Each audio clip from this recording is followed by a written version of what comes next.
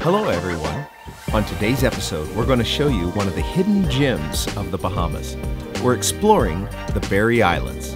When we last left you, we were on our way to the Berries as the sun was setting. Let's pause for just a moment and enjoy this breathtaking sunset.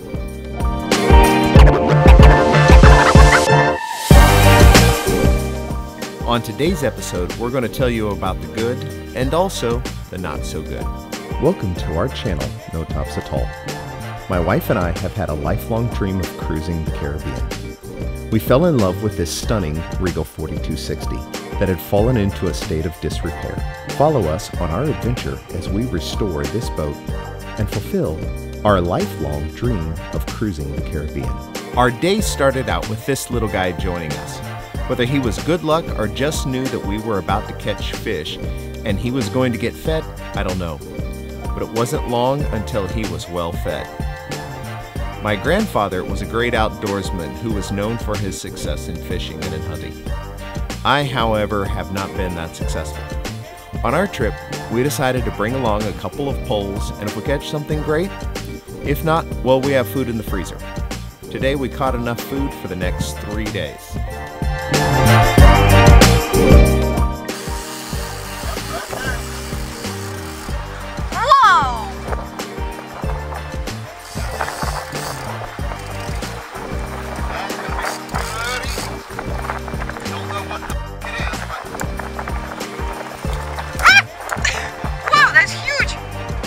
A wise boater once said, Something is broken on your boat.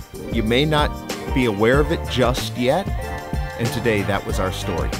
Our journey started out from Bimini to Berries, was around 97 miles, and we planned for it to take 12 hours. We had a new Garmin autopilot and radar installed before we left Fort Lauderdale. We planned on the autopilot reducing our workload.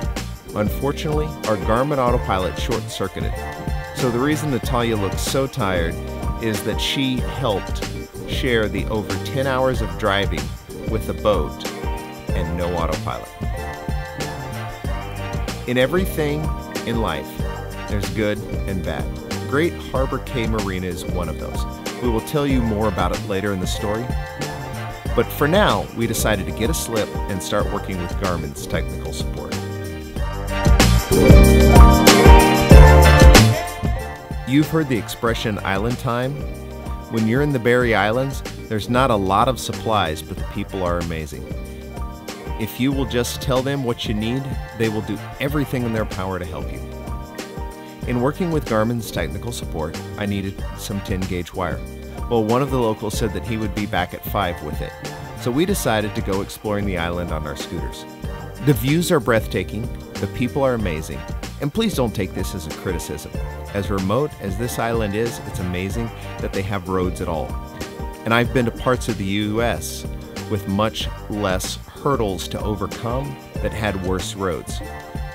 But one too many potholes, and finally Natalia's luck ran out.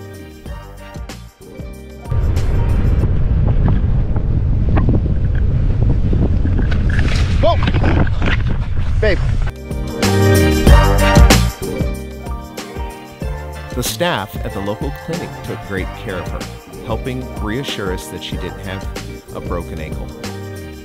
But what I really want to brag about is the staff at Great Harbor Marina. The dock master came to rescue us, even though we were on the opposite side of the island, and take us to the clinic, and then come pick us up and bring us back to our boat.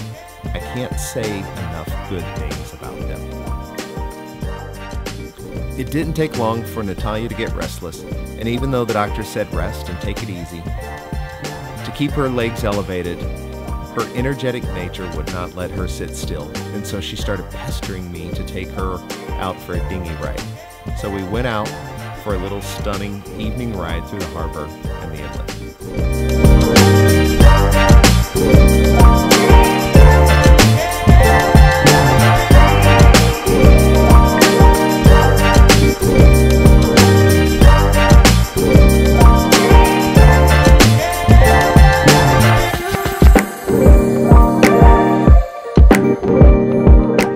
As night approached, we headed back so that we could prepare for our crossing to Nassau in the morning. so that we could repair our boat and continue our journey. With a full gas tank, batteries fully charged but operating on a single alternator and greatly diminished electrical safety equipment, we prepared for the quick journey over to Nassau to get the boat repaired. As always, we would like to thank you, our Patreon supporters. And please like and subscribe. And we look forward to seeing you on our next adventure in Nassau.